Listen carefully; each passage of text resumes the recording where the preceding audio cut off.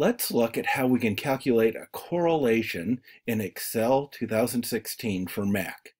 Now here we have Beep Beep's bedtime snacks, uh, the data that we have. So here's, here's Beep Beep. He wants to say hi again. Hello.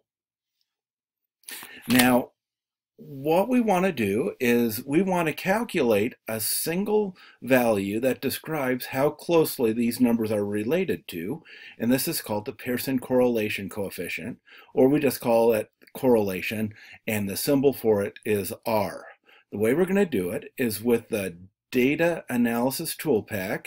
So we go to data, and it uh, here's the data analysis. If you don't have the data analysis installed, it's free and you need to uh, watch the video on how to, to do that. So I click data analysis and I am going to go to correlation.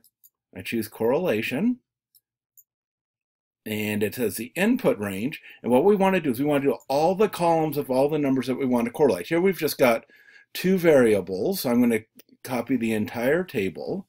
It's grouped by columns. Each variable is in one column. The labels are in the first row, cookies and Coke. Those are the names of the variables. Now the output range, I am going to um, put it next to it. Now notice that when I clicked on output range, the highlighted cell went up to input range, so I need to click in the output range. And now I can put like D4, and that's where the output will be. I press OK, and we have some numbers that need rounding, first of all, because that's too many decimal points.